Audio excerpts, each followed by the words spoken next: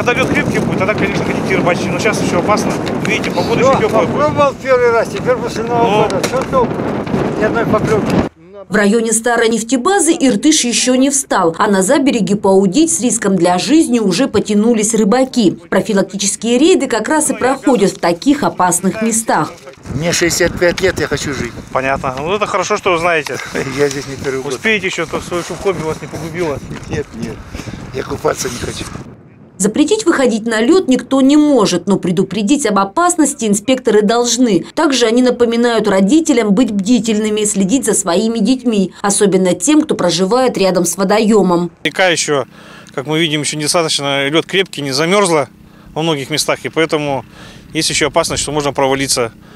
Температура неустойчивая, переменная. Да, они сидят на заберегах, хотя они нам рассказывают, что там толщина льда выдерживает человеческий вес 10-15 сантиметров, но рядом открытая вода, и в любой момент человек может провалиться под лед. Как правило, у рыбаков со стажем есть свои места. Они хорошо ориентируются и знают все подводные камни. Там, где стоячий водоем, лед прочнее, а где бьют ключи и течение, он непредсказуем. Не знаешь бруду, не лезь в воду.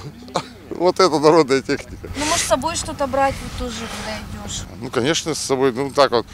Ну, сейчас вот уже толстый лед, так уже так вот ходишь, а до этого ты идешь и какие палки с собой кидаешь или еще что-нибудь. Ну, то по толковому льду не ходим. Сейчас на Иртыше идет ледостав. Ориентировочно паромная переправа завершит свою работу в воскресенье. Как только паром уйдет на зимовку, на ледовой переправе сразу будет организован безопасный проход через Иртыш для пешеходов. Специалисты уже начали намывать лед, чтобы он стал однородным и прочным. Также сделаны разметки для автомобильных полос. Их традиционно будет три. Как только лед будет нужной прочности, проезд для автотранспорта будет открыт. Елена Макова, Рустам Рузеев, Тобольское время.